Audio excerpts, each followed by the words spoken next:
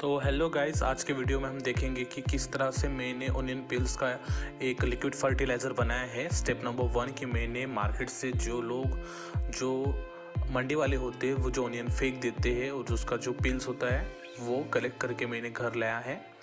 आप देख सकते हैं वीडियो में कितना सारा ओनियन मैंने लाया है वहाँ, यहाँ से।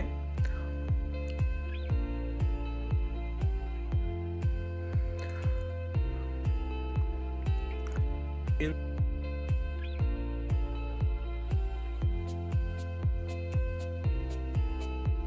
सारे ऑनियंस को फिर मैंने एक प्लास्टिक की बकेट में डाल के उसमें थोड़ा सा पानी डाला है।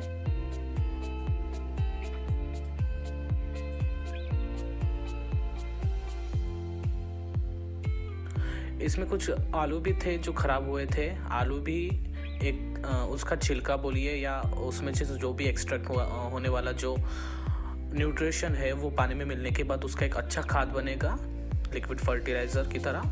जो प्लांट्स के लिए ओवरऑल ग्रोथ के लिए काफ़ी अच्छा होता है। तो मैं अभी रख रहा हूँ पानी डाल के। दो दिन बाद हम फिर से चेक करेंगे कि किस तरह से इसका जो कुछ कलर है या कुछ जो न्यूट्रिशन है, वो उस पानी में मिक्स हुए है या नहीं। हालाँकि इसकी जो स्मेल है, वो बहुत गंदी आती है बट ये प्लांट्स के लिए अच्छा है और ये काफ़ी न्यूट्रिशनल वैल्यूज़ प्रोवाइड करता है प्लांट्स के लिए। तो ये इम्पोर्टेंट भी है।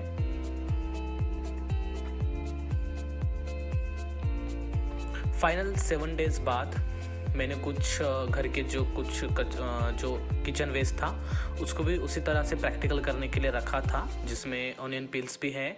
घर का जितना भी सांबार हो या मटर के छिलके हो, सारी चीज़ें मैंने यहाँ डाल के एक धूप में, धूप वाली जगह पे जहाँ जो कुछ सन की रोशनी अच्छे से आती हो, उस जगह पे रख के मैंने ये सब किया है। पानी डाल के रखा वही चीज़, और इसको भी सात दिन हुए हैं, और इसको भी मैं छान के पानी उस पानी को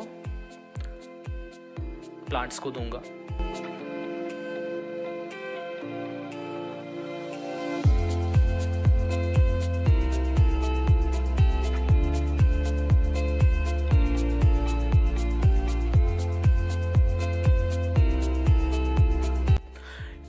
और पानी डाल के मैं इसको रख दूँगा। और चलो अब सात दिन बाद वो देखते हैं जिसके लिए हमने इतनी प्रिपरेशन की है। और आप देख सकते हैं कि उन अनियन में के पिल्स में जो भी कलर था, जो न्यूट्रिशन थे, वो डाइल्यूट हो चुके हैं पानी में, जिसे अब मैं फ़िल्टर करके उस वाटर को प्लांट्स में देने के लिए रेडी कर रहा हूँ।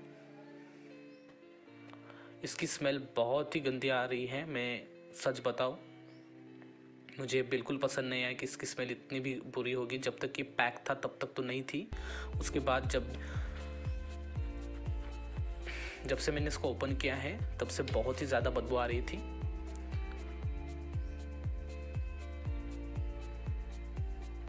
आप अगर घर पे ट्राई करते हैं तो ऐसी जगह ज़रूर रखें जहाँ आपको इससे डिफ़िकल्टी ना हो।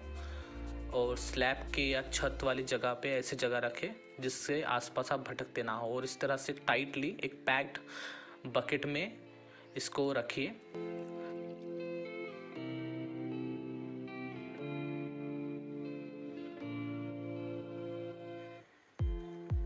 तो ये रहा मेरा लिक्विड फर्टिलाइज़र जो मैंने ऑनियन पील से बनाया है। और इसके अलावा मैंने जो भी घर का किचन वेस्ट मतलब एग्स के शेल्स हो गए या ओनियन पील्स हो गए या जो अपना गार्लिक होता है, उसके पील्स हो गए। ये सारी चीज़ें, पत्तियाँ जो अपना मतलब पत्ती मतलब चाय की जो पत्ती होती है लेस अदरक होता है, उन सभी का जो भी कुछ बचा कुचा वेस्ट है वो मैं एक कंटेनर में स्टोर कर रहा हूँ ताकि मैं अच्छा खाद बना सकूँ।